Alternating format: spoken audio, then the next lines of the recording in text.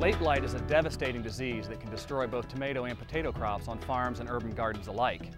The disease has already been found in Pennsylvania and Kentucky this year, so it's probably just a matter of time before it shows up in Ohio. Mike Laughlin of Northridge Organic Farm in Johnstown, Ohio said that late blight had a devastating effect on his crops last year. We, we got hit by late blight really early in the season last year, um, right at the very beginning.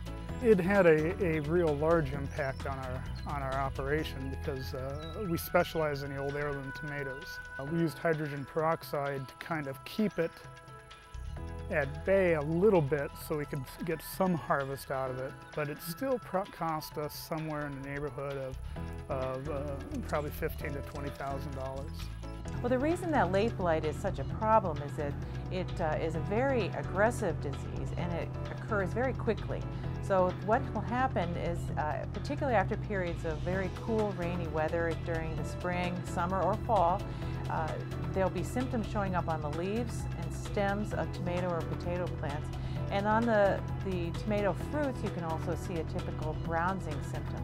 Ohio State University researchers recommend that commercial growers do regular scouting for late blight, and if symptoms are found, the plants should be destroyed right away. Because late blight is spread when its spores are carried in the wind, backyard and urban gardeners play a key role in curbing the spread of the disease. Quite honestly, it's a big problem. If you find late blight in your backyard garden, it has the potential to devastate every tomato that you have. If it is confirmed that you have late blight on your tomatoes or potatoes, remove the plants immediately and bag them and close the bags, tie them up and dispose them in the garbage. Do not put them in your compost pile because this will continue the problem.